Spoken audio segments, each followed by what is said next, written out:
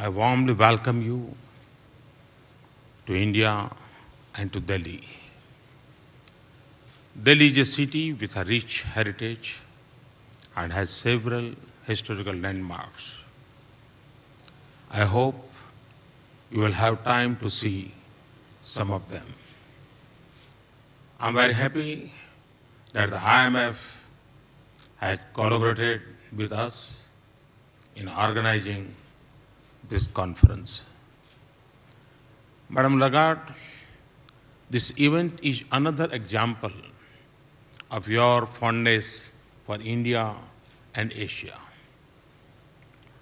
I congratulate you on being appointed as Managing Director for a second term. This reflects the confidence the world has in your understanding of the global economy and your ability to lead this institution. Madam Lagarde, the long pending quota revisions agreed in 2010 have finally come into effect. The quotas of emerging countries will now better reflect their weight in the world economy. This will give them more say in collective decisions in the IMF.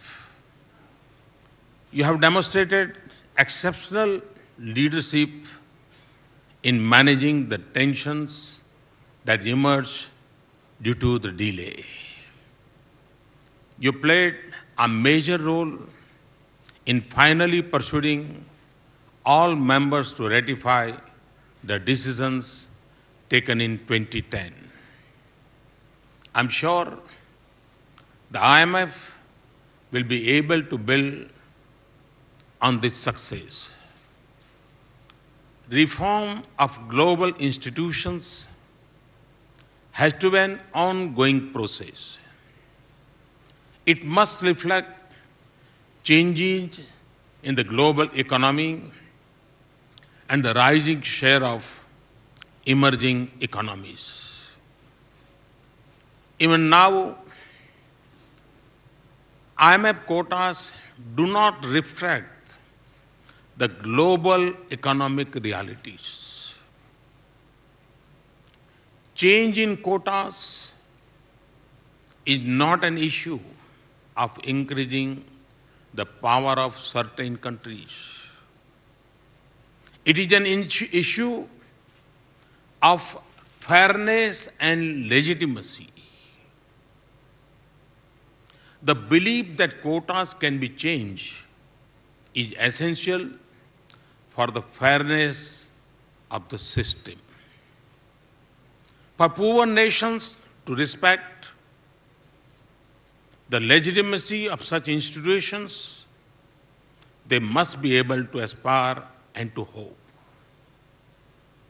I'm therefore very happy that the IMF had decided to finalize the next round of quota changes by October 2017. India has always had a great faith in multilateralism. We believe that as the world becomes more complex, the role of multilateral institutions will increase. Some of you may not be aware that India has was represented at the Bretton Woods conference in 1944, which gave birth to the IMF. India's delegate watch, Mr. R.K. Shanmukham Chetty, who later became independent India's first finance minister. Our ties, therefore, are more than 70 years old. We are a founding member of the Asian Infrastructure Investment Bank and the New Development Bank. We are confident that these banks will play an important role in the development of Asia. The fund has built up an immense stock of economic imperatives. All its members should take advantage of this. All of us need to pursue policies that provide a stable macroeconomy enhance growth and further inclusion. The fund can be of great assistance in this. Apart from advices, the IMF can help in building capacity for policy making. I'm happy to announce a new partnership with Bangladesh, Bhutan, Maldives, Nepal, Sri Lanka, India, and the IMF. We have agreed to set up the South Asia Regional Training and Technical Assistance Center. The center will provide training to government and public sector employees. It will enhance their skills and improve the quality of their policy inputs. It will also provide technical assistance to governments and public institutions. Let me now turn to the theme of this conference. I will touch on two issues. Firstly, why Asia? And secondly, how India? Why Asia is so important and how can India contribute? Many knowledgeable people have said that the 21st century is and will be the Asian century. Three out of every five people in the world live in Asia.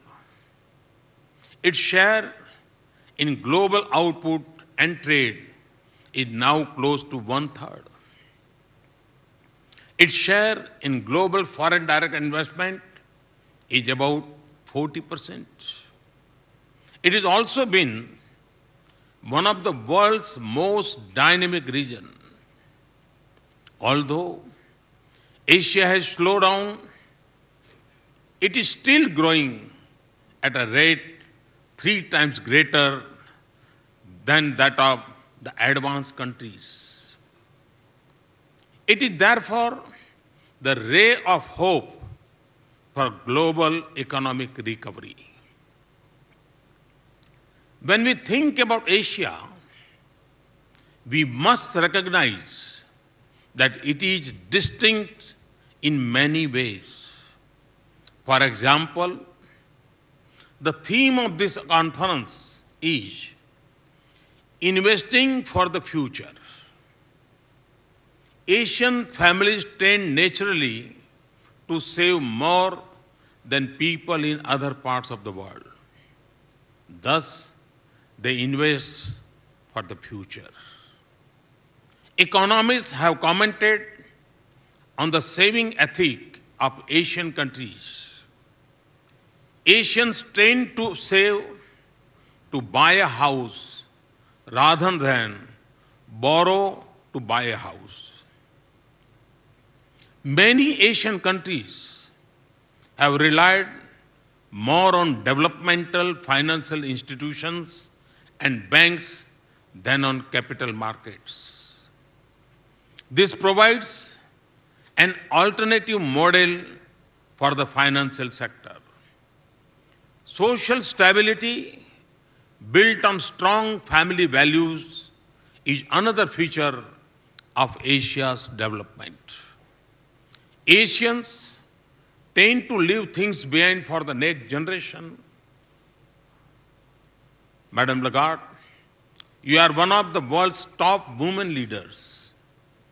And you uh, in your speech, you have also mentioned about the women's empowerment and the participation. You will be interested in another unique feature of Asia's, which is rarely commented upon, which is the large number of women leaders. India, Sri Lanka, Bangladesh, Pakistan, Indonesia, Thailand, Korea, Myanmar, and Philippines. All of these countries have had a woman as a national leaders. Asia has done so to a much greater degree than other continents. Today, four large states of India, West Bengal, Tamil Nadu, Gujarat, and Rajasthan, are headed by democratically elected women. The Speaker of the lower house of the Parliament in India is also a woman. India has a special place in Asia. It has historically contributed to Asia in several ways. Buddhism spread to China, Japan, and other parts of Southeast Asia from India. It has had a lasting influence on the continent's culture. Kingdoms in the south and west of India have engaged in maritime trade with other parts of Asia for over a thousand years. The Indian national movement showed other Asian countries that freedom from colonial rule could be achieved without violence. It also demonstrated clearly that the sense of nationhood could be broad and inclusive. It need not be defined by narrow linguistic or religious identities. The Sanskrit saying, Vasudhaiv Kutumbakam, the world is one family, refers to the sense of the oneness of all identities. India has displayed the myth that democracy and rapid economic growth cannot go together. India's growth rate of over 7% is being achieved in a country that is also a vibrant democracy. It is sometimes assumed that democracy is a colonial gift to India. But historians tell us that India had produced forms of democratic self-governance many centuries ago when democracy was unknown in many parts of the world. India has also shown that a large, diverse country can be managed in a way that can promote economic growth and maintain social stability. One way in which we are doing this is through cooperative and competitive federalism. The states and the center come together to pursue common objectives. States which pursue good policies and deliver essential services for the poor induce others to follow. Our rapid economic growth is also very distinct in Asia. We have never tried to gain in trade at the expense of our partners. We do not follow beggar thy neighbor macroeconomic policies. We have never undervalued our exchange rate. We add to world and Asia demand by running current account deficits. We are therefore good Asian and good global economic citizens in a source of demand to our trading partners. We all want Asia to succeed. I firmly believe that India can contribute to Asian prosperity and development by being an economically strong country. Amid global problems, I am happy to say that India is a haven of a microeconomic stability and beacon of hope, dynamism, and opportunity. Madam Lagarde, you have referred to India as the bright spot in the global economy. I view this as a great privilege and at times same time at the same time a major responsibility.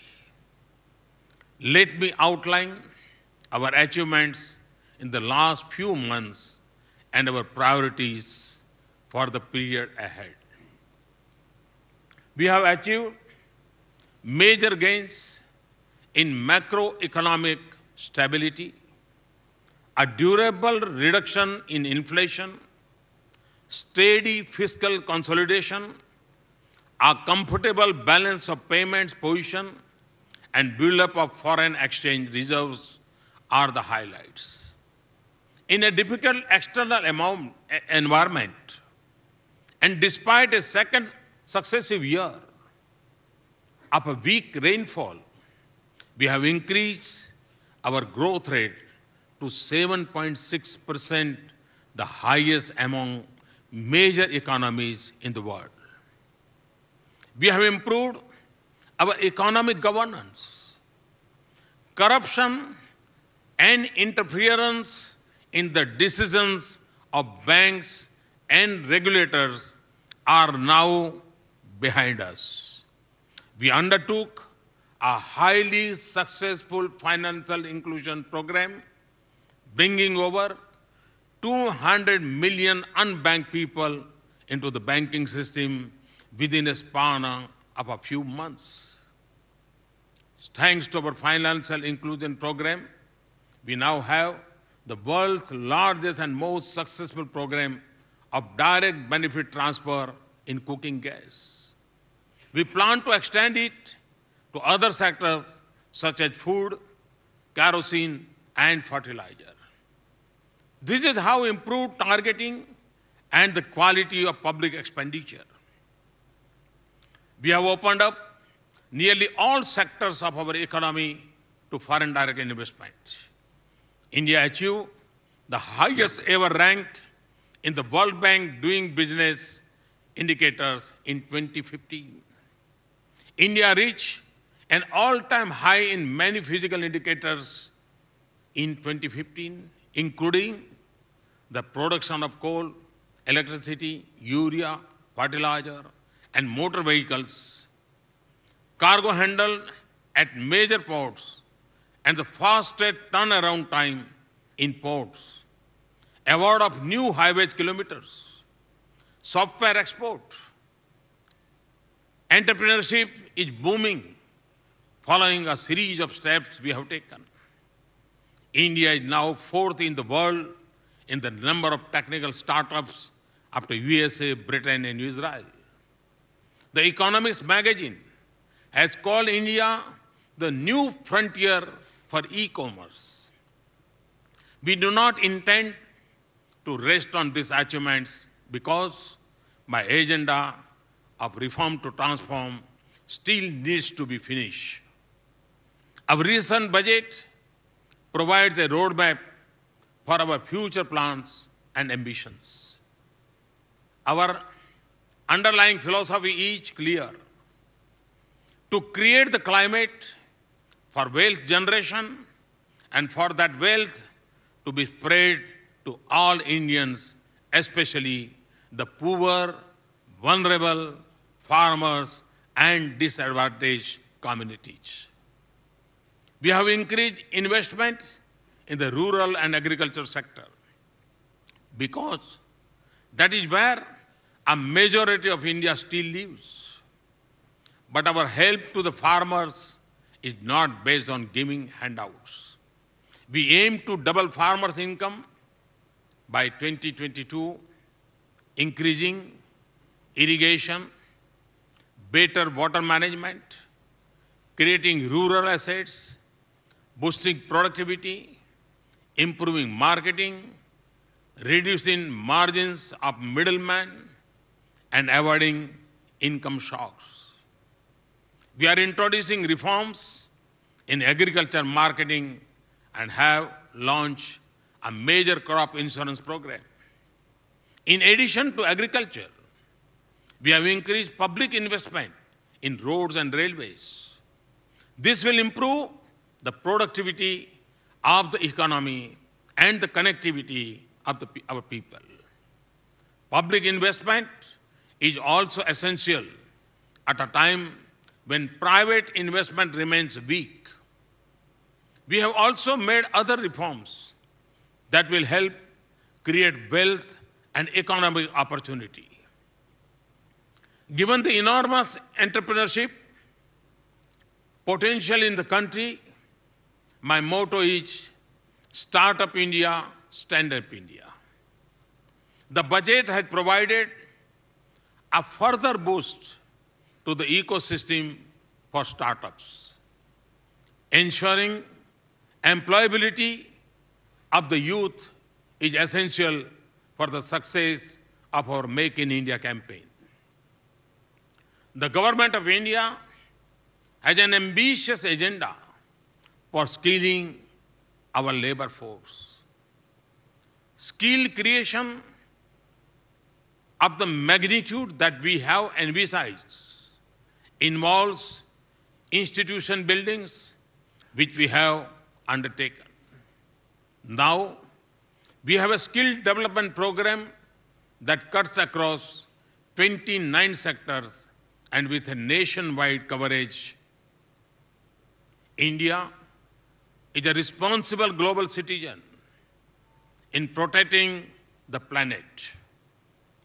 India played a positive role at the COP21 summit. Between now and 2030, we intend to rewrite history by growing rapidly and also reducing the emission intensity of our GDP by 33%. By then, 40% of our installed electric power capacity will be from non-fossil fuel.